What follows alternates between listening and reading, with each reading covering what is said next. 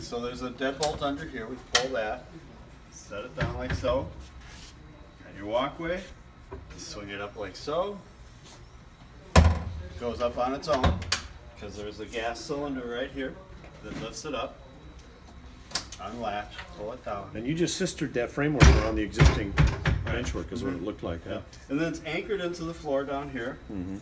And then it's just attached up here to the bench work. And then we just slide it up like so.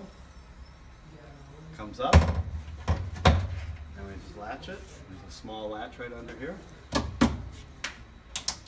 Back down. And it goes down on its own.